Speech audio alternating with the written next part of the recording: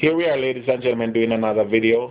This time I am juicing some vegetables in what I call my green goodness juice. Alright and um, as you can see it's a green juice and we have relatively as much green ingredients as we can find with the um, inclusion of grapefruit. This uh, is grapefruit as you can see and I use it because of the weight loss uh, properties, the pectin in it and stuff like that.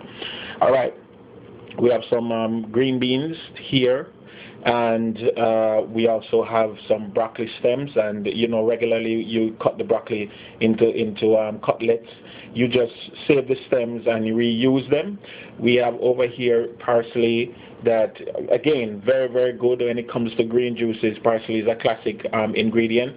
We have ginger because we love the taste of ginger and it, it, it really and truly um, augments whatever you're doing carrot juice apple juice whatever you're doing you know adding a little ginger is very good. And ginger is good for your blood as well. It's a it's a, a anticoagulant so it helps you your blood to flow freely in your arteries.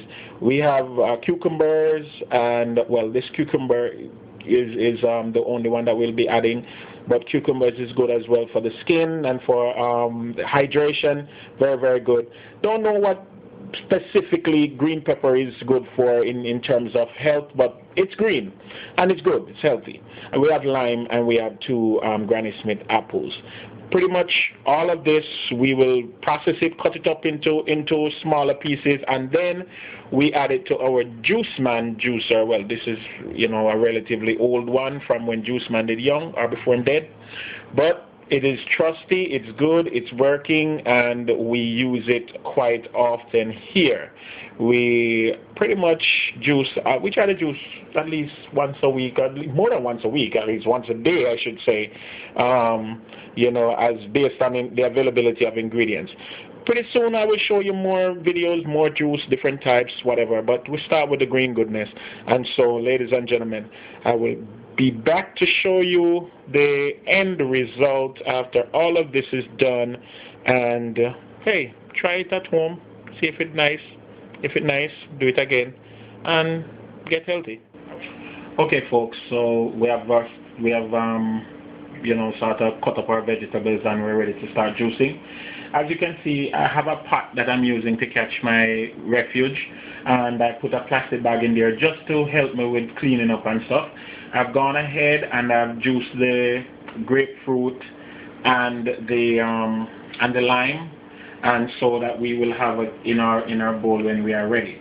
All right? So it's going to be a bit noisy but this is what we pretty much want. I just want to show you a little bit of what we do in terms of the juicing okay? So stay tuned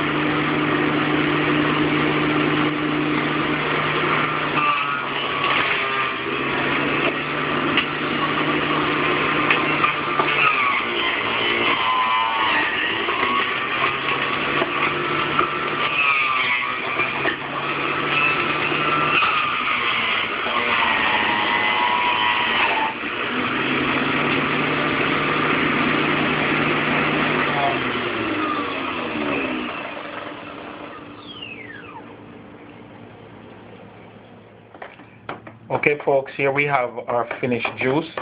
And as you can see, I'm just stirring the juice just to make sure that we incorporate the foam with the liquid. You know, when you use the juicer, it, it leaves a residual foam at the top.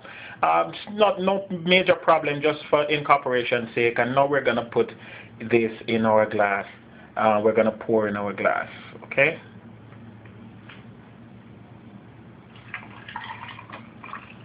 And there you have it, folks. Perfect in the morning, you know, over, with your breakfast, you know, over ice, green goodness juice. And I'm telling you, ladies and gentlemen, you will not want for a better tasting uh, juice uh, than this one, you know, when you start your morning off.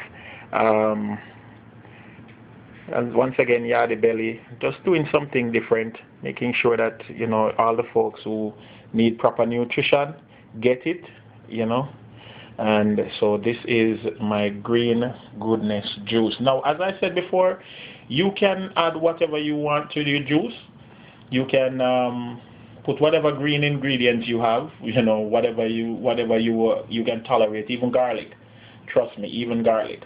But uh, this is my version of it, just based on what I have. Next week it change, the following week it change. That's how it goes. All right. So hey, stay healthy, folks, and remember, Yardie Belly in a foreign, um, taking it to you naturally.